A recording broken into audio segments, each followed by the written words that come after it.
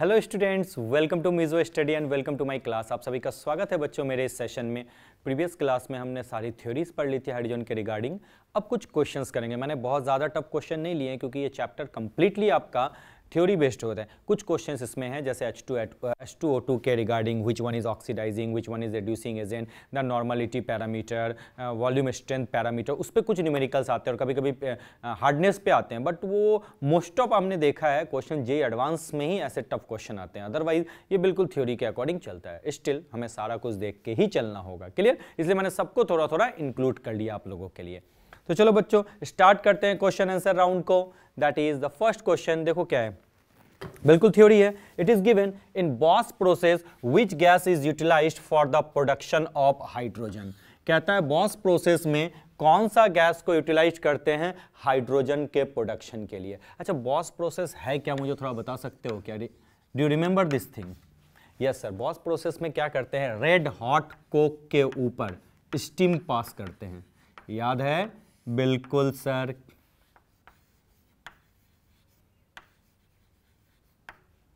Hot Coke के ऊपर हम लोग क्या पास कर देते हैं? स्टीम पास करते हैं। जैसे ही इसके ऊपर हम स्टीम पास करते हैं तो हमें क्या मिलता है जल्दी से बता दो? वाटर गैस मिलता है that is C O plus H two this one is water gas ठीक है? अब इस वाटर गैस को फर्दर हम किसके साथ ट्रीटमेंट करेंगे? एक्सेस ऑफ़ स्टीम के साथ। यानी टू वॉल्यूम इस, अगर इसका एक है तो इसका टू वॉल्यूम यानी एक्सेस ऑफ़ स्टीम के साथ हम ट्रीटमेंट करेंगे। तो आपका क्या हो जाएगा? ये जो कार्बन मोनोऑक्साइड इसके अंदर है वाटर गैस में, वो किसमें चेंज हो जाएगा? CO2 और हाइड्रोजन प्रोडक्ट्स प्रोड्यूस हो जाएगा। फिर उसमें से CO2 को हमें मैंने बताया था कैसे आपको रिप्लेस करना है और हाइड्रोजन की क्वांटिटी कैसे बढ़ानी है, बढ़ गई। तो यानी क्वेश्चन में आंसर क्या हो जाएगा कि water gas is the answer that is in Bosch process which gas is utilise for the production of hydrogen that is the B option this one is the water gas क्या मैं rub कर दूँ? Yes sir definitely rub this part and will discuss the next part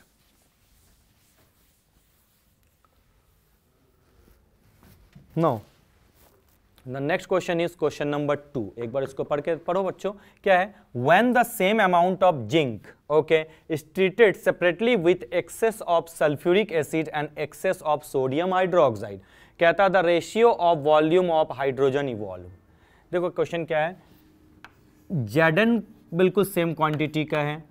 Jadon को एक बार मैंने H2SO4 के साथ ट्रीटमेंट कर दिया। बहुत अच्छी बात है। जब जेडन को मैंने H2SO4 के साथ ट्रीटमेंट किया तो बन गया जेडन SO4 प्लस H2 बहुत अच्छी बात है। अब जेडन को मैंने ट्रीटमेंट कर दिया NaOH के साथ। तो ये बन गया आपका क्या? Na2 ZnO2 और साथ में क्या निकल गया बच्चों? Hydrogen gas. क्या कोई प्रॉब्लम वाली बात है? एक बार बैलेंस करके चेक कर लो N A two Z N O two plus hydrogen gas आप देखो, हर दोनों इक्वेशन में जो हाइड्रोजन का वॉल्यूम है, वो सेम है. वन टेंस टू वन है ना? बिल्कुल. So what is the answer for this question what the situation the answer will be one tense to one यानी क्वेश्चन नंबर टू का जो बच्चों ऑप्शन होगा that is A is the correct option. तो चलो बच्चों रब कर देता हूँ और आगे बढ़ चलते हैं नेक्स्ट पे। नेक्स्ट क्वेश्चन क्या है, देखो।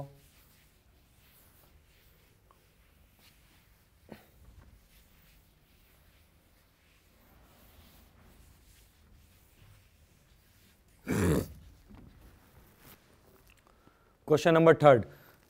Question number third is given the volume of 10 volume H2O2 required to liberate 500 ml of O2 at NTP कहता है कि बताओ कि कितना H2O2 का वॉल्यूम आपको चाहिए। जो सैंपल है, वो है 10 वॉल्यूम H2O2 जिससे कि आपको क्या मिल जाए? 500 ml O2 मिल जाए। यही तो है। याद करो, अगर मैं ऐसा लिखूं 10 ml of 20 volume H2O2 sample क्या मैंने लिखा? 10 M L of 20 volume H2O2 sample से कितना ऑक्सीजन आपको मिलेगा? तो हम लोग क्या लिखते थे? 10 इंटू ट्वेंटी यानी 200 hundred M L of O यही तो था? यस सर बिल्कुल। अब अगर मैं ऐसा लिखूं 10 M L of 10 volume H2O2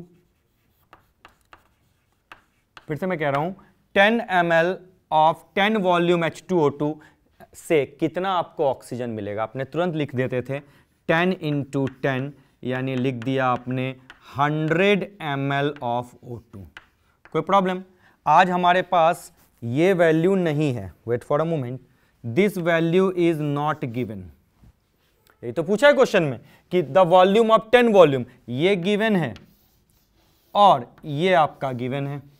और इस बार ये कितना गिवन है? 500 हंड्रेड तो क्या लिखोगे इसके जगह पे? X तो लिखोगे x वॉल्यूम ऑफ़ 10 वॉल्यूम या ऐसे लिख दो ना, x ml लिख दो।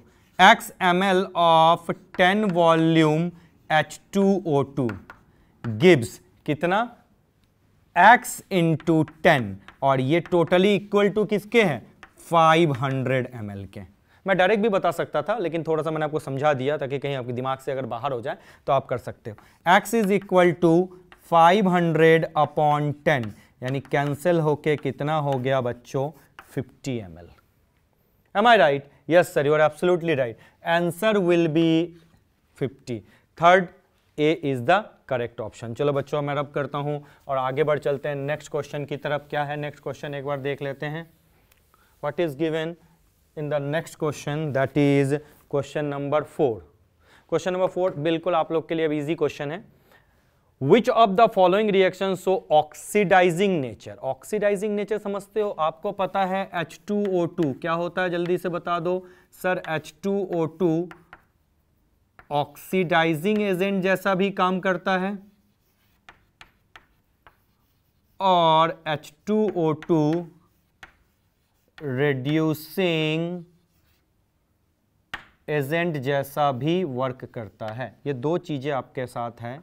H2O2 ऑक्सीडाइजिंग एजेंट जैसा भी वर्क करता है एंड H2O2 रिड्यूसिंग एजेंट जैसा भी वर्क करता है। अच्छा ऑक्सीडाइजिंग एजेंट का मतलब क्या हुआ?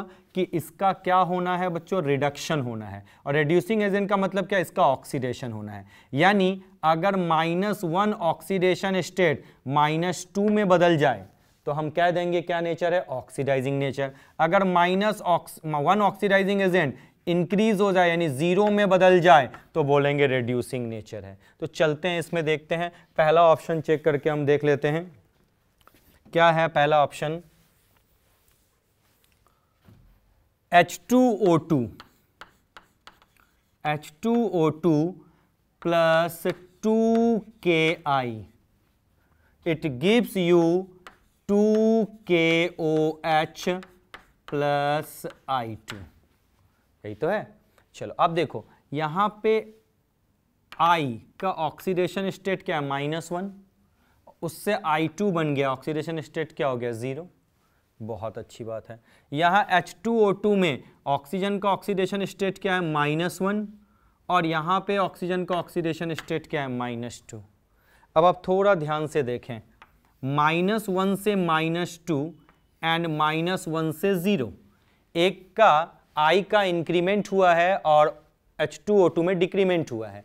जिसमें डिक्रीमेंट होता है वो कौन सा एजेंट होता है? जल्दी बता दो बच्चों। ऑक्सीडाइजिंग एजेंट बहुत अच्छी बात है।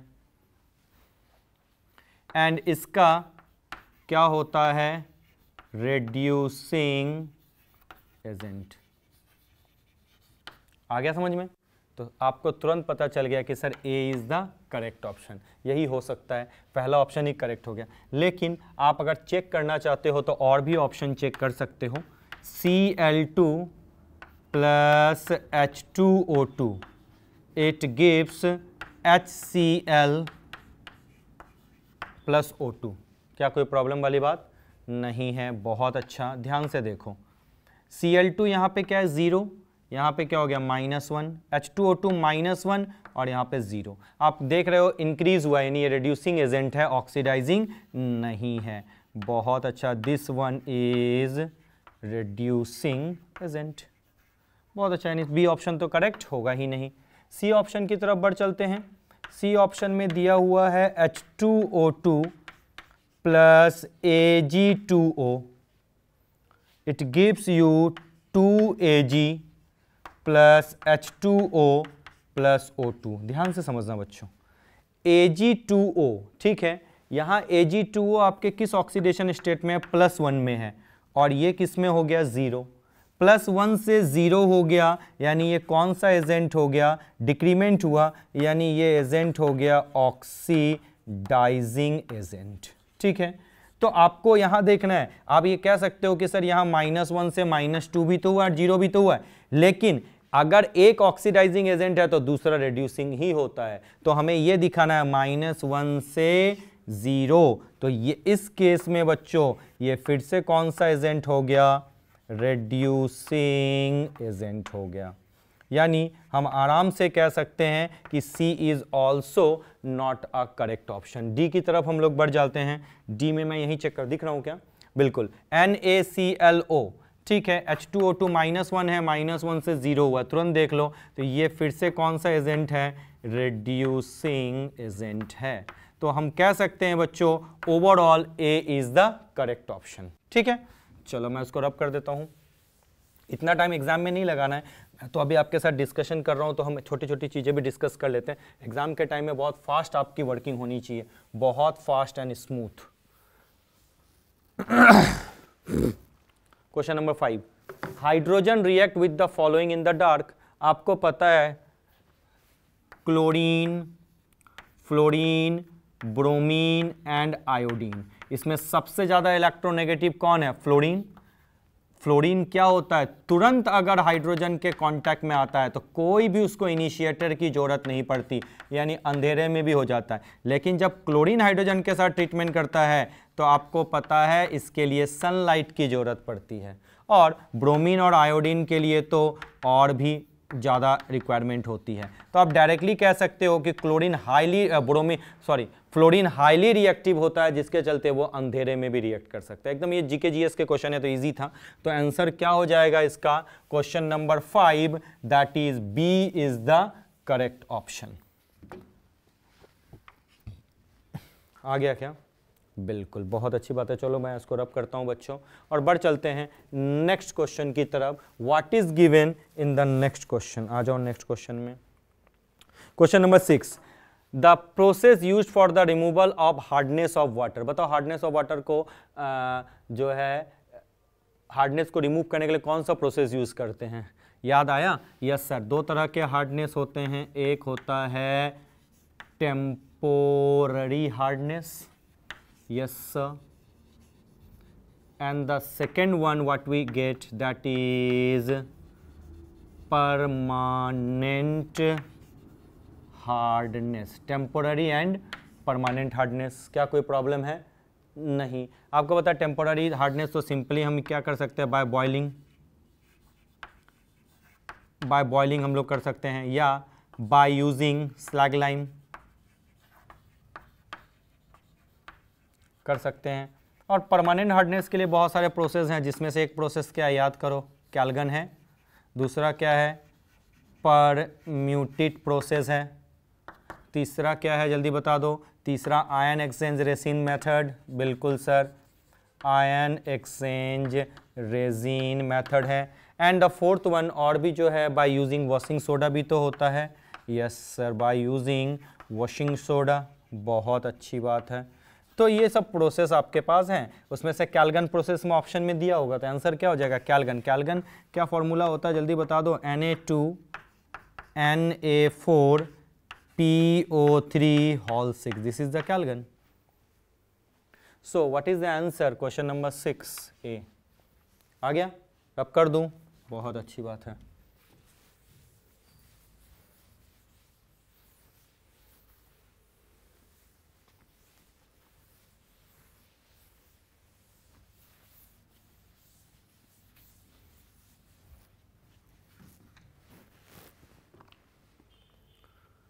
in which of the following reaction H2O2 act as a reducing agent वही बात है रिड्यूसिंग एजेंट चेक करके देख लें यहाँ पे बहुत अच्छी बात है। रिड्यूसिंग एजेंट मतलब ऑक्सीडेशन होना। देखो पहले तो पीबी का देखें PbO2 पीबी यहाँ पे किस ऑक्सीडेशन स्टेट में है? प्लस फोर और यहाँ पे किस ऑक्सीडेशन स्टेट में है? प्लस टू प्लस फोर से प्लस टू हुआ यानी ये क्या ऑक्सीडाइजिंग एजेंट तो हम समझ चुके हैं ये रिड्यूसिंग एजेंट होगा। ये तो रूल होता है। यहाँ पे माइनस वन है यहाँ पे माइनस टू और ज़ीरो ये, ये अगर ऑक्सीडाइजिंग है तो ये रिड्यूसिंग एजेंट है, यानी मैं यहाँ पे लिख दिया, ये रिड्यूसिंग एजेंट है। यानी इसके according A is the correct option और भी चेक कर लेते हैं, देखो। यहाँ तो डायरेक्टली चेक कर सकते हो। माइनस वन है और यहाँ से माइनस टू हो गया। तो समझ गया माइनस वन से माइनस टू हो गया तो ये कौन सा एजेंट है? ओ ए ऑक्सीडाइजिंग एजेंट बहुत अच्छी बात है। तीसरा देखते हैं। यहाँ माइनस वन है। माइनस वन से क्या हो गया? ज़ीरो हो गया। और यहाँ पे माइनस वन है और यहाँ पे क्या हो गया? माइनस टू माइनस वन से माइनस टू डिक्रीज हुआ। ये कौन सा एजेंट है भैया? ओ ए है। ऑक्सीडाइजिंग एजेंट है। क्या कोई प्रॉब्लम है? नहीं। उसके बाद हम देखते हैं के N O two plus S two O two फिर से देखो माइनस वन से माइनस टू हो गया। बाकी चेक करने की ज़रूरत है नहीं। माइनस वन से माइनस टू हुआ। That is the decrement decrement है तो ये कौन सा एजेंट हो गया? सेट से देखो ओ ए यानी किस ऑप्शन में आपका आर ए है? First is the correct option that is for question number seven A is the correct option. Clear बच्चों? बहुत अच्छी बात है। आगे बढ़ चलते हैं नेक्स्ट सेगमेंट की तरफ़। नेक्स्ट क्वेश्चन की तरफ़। क्या है नेक्स्ट क्वेश्चन देखो H2O2 एकदम थियोरी है। H2O2 इज़ 5.6 वॉल्यूम तो बोलता है इट इज़ क्या इसमें से चार में से क्या ऑप्शन अच्छा एक बात होता है हम लोग कैसे लिखते हैं? H two O two gives H two O plus O two यही तो लिखते हैं। लिखते हैं ना? बैलेंस कर लूँ? बिल्कुल। इसका कितना मास होता है? 34 ग्राम, यानी 2 into thirty gram that is equivalent to two two four double zero M okay ध्यान से समझना है 68 gram H2O2 releases 224 double zero M two और हमारे पास कितना है? यस पॉइंट सिक्स पलट दें इसको।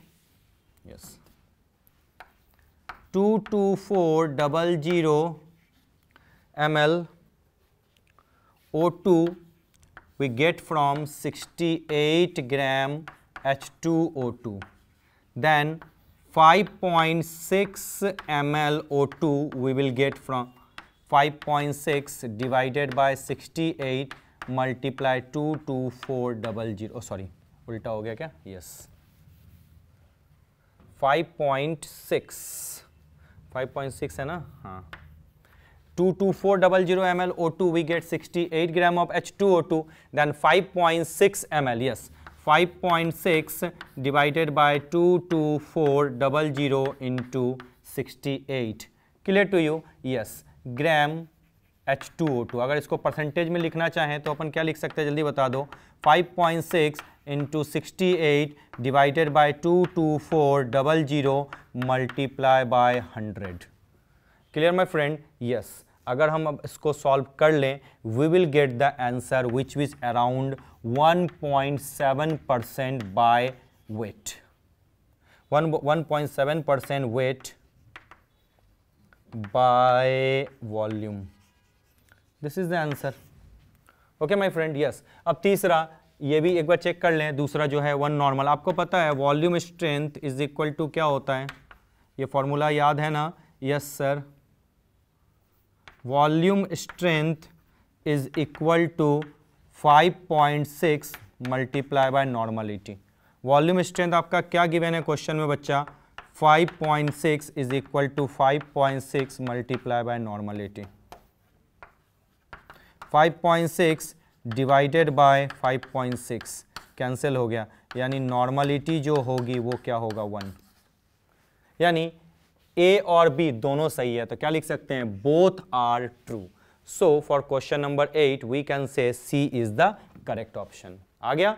बिल्कुल। रब कर दो बच्चों? बिल्कुल सर ये सब चीज़ें मैं आपको क्लासरूम में जब अपने लेक्चर ले रहा था तो भी मैंने आपको बताया था। आई होप इन सब में आपको कुछ खासा प्रॉब्लम नहीं होना। Question number nine out of the following which will give H two आपको पता है जेड एन तो इजीली दे देगा। Z N plus N A O H क्या बनाता है? जल्दी बता दो। Sir N A two Z N O two plus H two कोई प्रॉब्लम एलमिनियम दे देगा। Aluminium plus N A O H ये क्या दे देगा? N A L O two plus H two दे देगा। बहुत अच्छी बात है। अगर मैं बेरेलियम की बात करूँ B E plus N A O H तो ये क्या देगा? N A two B E O two plus H two क्या कोई प्रॉब्लम वाली बात है? नहीं। ये तीनों दे देगा बट एक मैग्नीशियम जो है एन के साथ रिएक्ट नहीं करता। तो ऑप्शन क्या हो जाएगा? वन थ्री एंड फोर पहला, तीसरा एंड चौथा, यानी B is the correct option आ गया। बिल्कुल सर, इसमें कुछ ज़्यादा टफ नहीं है। कुछ मैंने थ्योरी लगाई थी, कुछ मैंने न्यूमेरिकल्स लगाए ताकि आप बेस भी थोड़ा देख लो। कभी कभी बच्चे क्या होते हैं बेसिक क्वेश्चंस नहीं देखते, उनको लगता हमेशा ही टफ आता है, ऐसा कुछ नहीं होता। Eighty percent question simple level के आते हैं। अब क्वेश्चन आता है out of L I H M G H two and C U H all are ionic hydride possible ही नहीं है। ठीक है। L I H and M M G H two are ionic and C U H covalent नहीं हो सकता। All are covalent possible ही नहीं है। अच्छा एल क्या है? एल आइनिक हाइड्राइड एल क्या है? मेटल है। एम याद करो बी एच टू एम इसमें क्या आता था? पॉलीमरिक हाइड्राइड है। चलो, और सी यू एच क्या मेटेलिक हाइड्राइड है। तो यानी L I H is ionic M G H two and C U H are intermediate ये बेस्ट ऑप्शन लगा। क्या कोई प्रॉब्लम है? नहीं। बहुत अच्छी बात है। मैंने आपको टेन क्वेश्चन का एक सेट लिया था और टेन क्वेश्चन आपके साथ डिस्कस कर लिए मैंने बच्चों। आई होप सो इसमें कोई प्रॉब्लम नहीं होगी। मैंने लेवल बहुत ज़्यादा टफ नहीं रखा, क्योंकि बेसिक लेवल भी आपके साथ होनी चाहिए। हाँ जी एडवांस में मैं कुछ अच्छे क्वेश्चन आपके पास लेके आऊँगा, जिससे आपका प्रिपरेशन लेवल और भी अच्छा हो जाए। तो बच्चों, अब समय आ चुका है, आपसे विदा लेने का। Time has come time to say bye thank you so much